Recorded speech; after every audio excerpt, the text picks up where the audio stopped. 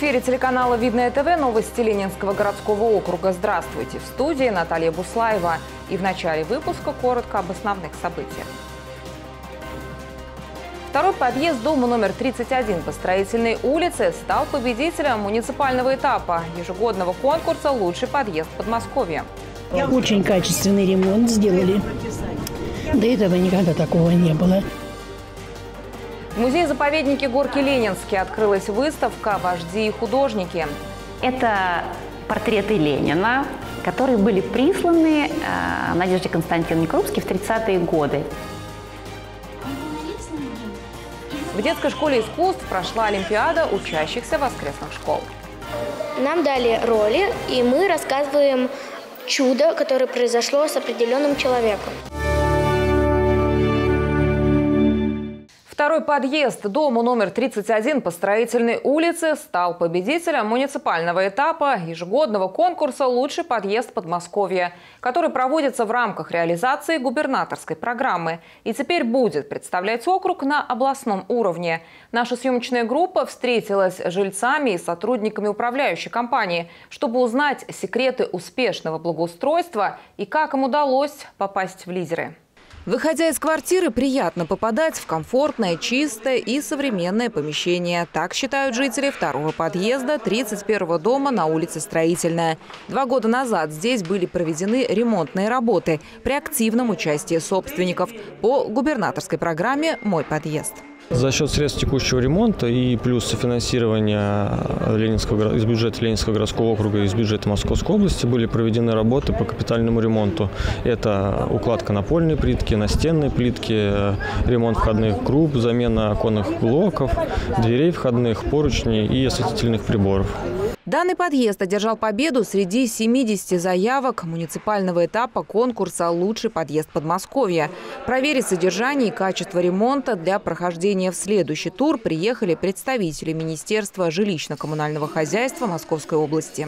В Московской области ежегодно проходит смотр-конкурс э, «Лучший подъезд Подмосковья», отремонтированный при участии жителей и управляющей компании, соответственно.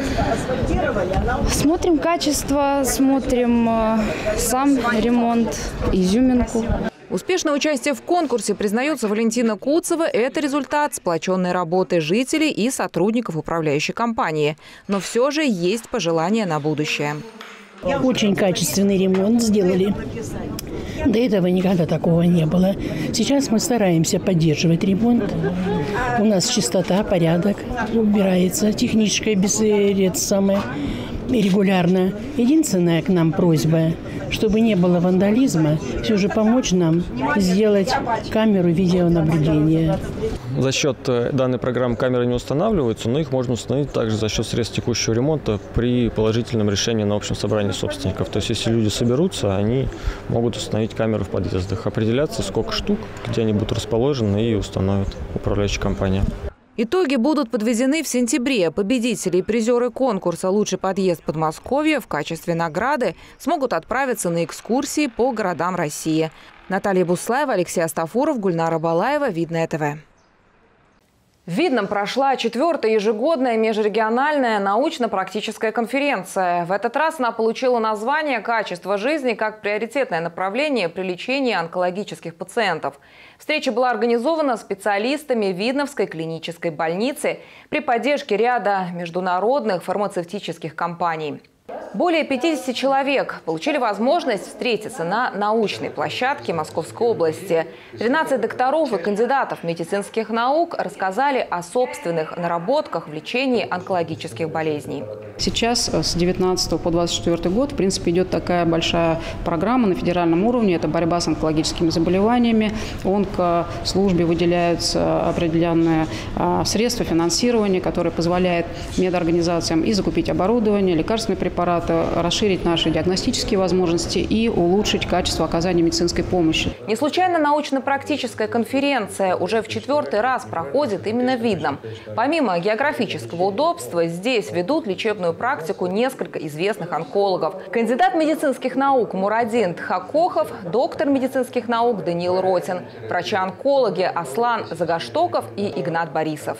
Видно, это областная больница, в которой существует онкослужба, а, которая активно работает. На этой конференции доктора не только из Видновской больницы, здесь доктора из Московской области, которые представляют различные медицинские организации в качестве докладчиков и э, федеральные спикеры, и доктора также из других медицинских организаций Московской области. В принципе, это э, обмен опытом. По данным пресс-службы Видновской клинической больницы, в Ленинском городском округе на сегодняшний день зарегистрировано 3,5 тысячи онкобольных. В Видном сотрудники госавтоинспекции задержали юных мотоциклистов. О том, что грозит нарушителям правил дорожного движения, расскажет Юлия Стаферова. Рейд «Внимание, дети» направлен на профилактику безопасного поведения детей на дороге. Особенно это касается тех, кто незаконно управляет транспортными средствами – мотоциклами, скутерами и питбайками. В ходе мероприятия сотрудники ГИБДД задержали юных гонщиков, которые передвигались на кроссовых мотоциклах и скутере. Самому младшему из них всего 10 лет. Мы приехали сюда, стояли, ждали мальчика, а он не пришел.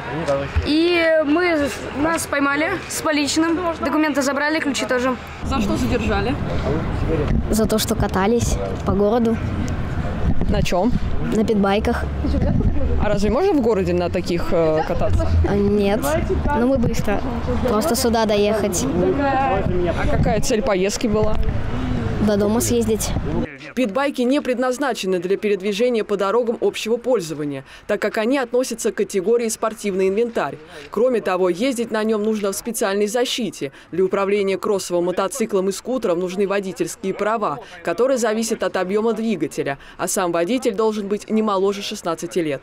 Выезжать на проезжую часть наши подростки имеют право в возрасте 14 лет. До 14 лет выезжать на проезжую часть запрещено, даже на велосипеде.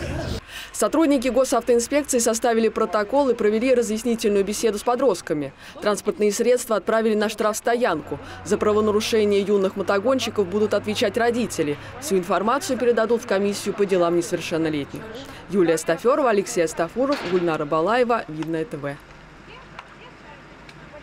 В конце мая в России отмечается День предпринимательства. Мероприятия в поддержку бизнеса прошли по всей Московской области. Организация движения первых не стала исключением и провела образовательную программу для всех желающих, посвященную теме бизнеса. В чем отличие стоимости от себестоимости, как выбрать форму сбыта продукции, кто такие индивидуальные предприниматели. Это и многое другое школьники узнали на открытом уроке от движения первых под названием «Бизнес-ринг». В движении первых по всей стране проходит акция а, «Дело и дело», а, «Дело первых». Поэтому мы решили приурочить к этой акции такое мероприятие сделать. Бизнес-ринг – это интеллектуальная командная игра, где участники соревнуются в знаниях о предпринимательстве. Школьники а, узнают много нового о предпринимательской деятельности, законы, связанные с предпринимательской деятельностью, решат различные задачи. Каждый из участников сможет разработать свой собственный бизнес-проект. Не обошлось и без игровой части, где школьники смогли не только решить увлекательные задачи, но и создать собственный бизнес-проект по техническому заданию от организаторов. Я представляю свою, э, свою компанию под названием э, «Собачий Не спрашивайте, почему такое странное название. Бизнес-ринг позволил познакомить подрастающее поколение с основами предпринимательства. Проверить свои знания, а главное собраться вместе с единомышленниками – одна из идей проведения ежегодной Олимпиады учащихся воскресных школ Видновского благочиния. В этот раз ребята встретились на дружеском соревновании в 12 раз. На мероприятии побывал Дмитрий Книга. В Видновской детской школе искусств состоялась 12-я Олимпиада воскресных школ Видновского благочиния. Каждый год мероприятие посвящено какому-либо святому или приурочено к значимому событию. В этот раз Олимпиаду посвятили памяти преподобного Серафима Вырицкого. В этом году мы хотим по благословению владыки Аксия сделать эту Олимпиаду не только эм, среди храмов эм, Видновского благочиния, а среди воскресных школ всей Подольской епархии. Вот. И надеемся в этом году, вот в октябре месяце, это с Божьей помощью осуществится. В Олимпиаде приняли участие 9 команд, состоящих из учащихся воскресных школ при храмах Видновского благочиния. В качестве подготовки к интеллектуальному соревнованию ребята на занятиях изучали Ветхие и Новые Заветы, а также литургику. Игра начиналась с домашнего задания. Команды должны были представить на суд жюри трехминутную сценку с эпизодом из жизни преподобного Серафима Вырицкого. Было заметно, с какой теплотой и вдохновением мальчики и девочки отнеслись к истории этого человека. Нам дали роли, и мы рассказываем чудо, которое произошло с определенным человеком. И, ну, от лица этого человека. Чудеса, которые связаны с Серафимом Вырицким. Я пошла в эту воскресную школу, потому что я очень влечена в свою, а, ну, в христианство. Я очень люблю, я читаю, все учусь всегда. А мои подруги тоже, ну, тот, кто в нашей команде, они тоже очень вовлечены во все это. Затем последовал теоретический этап Олимпиады. Участники должны были продемонстрировать свои знания о священном писании. За правильный ответ команде присуждалось 2 балла, за неполный ответ – 1 балл. Все команды выходят на сцену и э, сообща, там 5 членов в каждой команде, сообща они отвечают на вопрос. В течение минуты они должны дать ответ, написать его на листочке бумаги и, соответственно, поднять вверх по э, призыву ведущего. По итогам Олимпиады третий год подряд победу одержала команда «Светоч», представляющая Александр Невский храм города Видное. Второе место у команды «Парадигма», третье у «Логоса». Дмитрий Книга, Александр Логинов, Ольга Садовская, Видное ТВ. Ленин, каким вы его еще не видели? В музее-заповеднике Горки Ленинский открылась выставка «Вожди и художники», где представлены предметы, отражающие образ выдающегося политического деятеля на различных этапах. Экспозиция состоит из трех частей. Первый этап – «Живой Ленин», когда еще не было канонов, и каждый мог изображать вождя, ориентируясь на свои ощущения. Второй раздел выставки – превращение изображения Ленина в знак, схему, пиктограмму. И последний этап – деканонизация. И поэтому э, образ становился все более схематичным. И в конце концов, в 70-е э, образ стал настолько незаметным, да, и его было много, но люди его уже не замечали и никак не откликались на этот образ. Куратор выставки Светлана Генералова представила предметы, отражающие образ выдающегося деятеля. Ленин, вышитый школьниками на шелке, Ленин из смальты и зеркал, на бархатной аппликации, на товарах широкого потребления. Это портреты Ленина, которые были присланы э, Надежде Константиновне Крупской в 30-е годы. Здесь и вышивка, и аппликация, и роспись. Э, работа вся наполнена символами. Здесь мы видим и СССР, да, и годы жизни Ленина, и серп и молот. Особенно необычным выглядят изображения вождя мирового пролетариата на коврах ручной работы, которые делали по всему миру очень неожиданным и интересным является такая коллекция ковров с изображением Ленина.